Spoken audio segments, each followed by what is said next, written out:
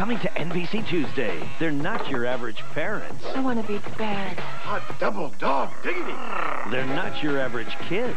I'm burning! Whoa, I washed my hands in there. And it's not your average high school. Oh, yeah. Henry? Ah!